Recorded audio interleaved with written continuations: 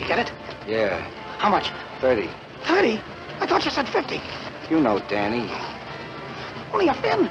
Don't you want it? Well, what about Stoker? What about him? Oh, he's all set, ain't he? You told him, didn't you? Why cut him in? I don't like it, Tiny. Stoker can still punch. If anything goes wrong, little boy's gonna blow his Don't top. be a meathead.